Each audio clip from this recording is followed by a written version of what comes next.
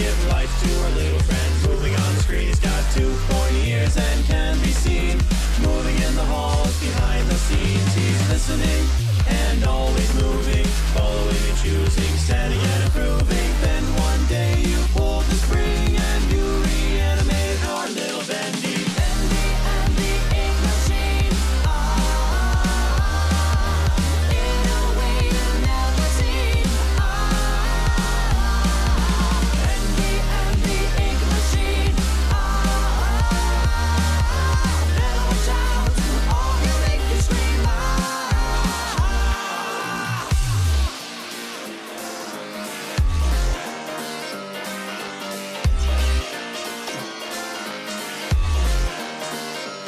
He's got a friend named Boris that loves to play